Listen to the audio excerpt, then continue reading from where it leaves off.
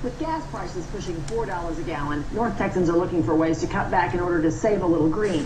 At least one man has found a way to save some cash and help the environment at the same time.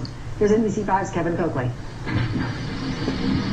David Murray may drive the quietest car in North Texas. Powered only by a small electric motor with no emissions. The most common question I get is, is this an electric car?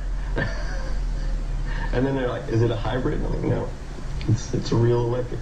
When his car is low on fuel, David simply plugs the power cord into the nearest outlet. Yeah, just plug it in here.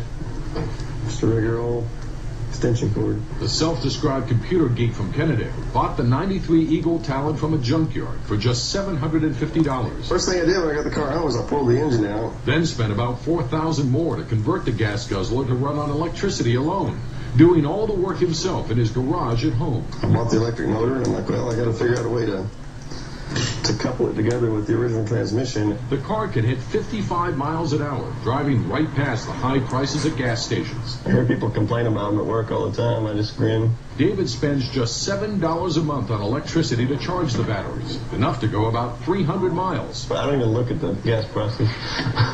Kevin Coakley, NBC5. Braggart.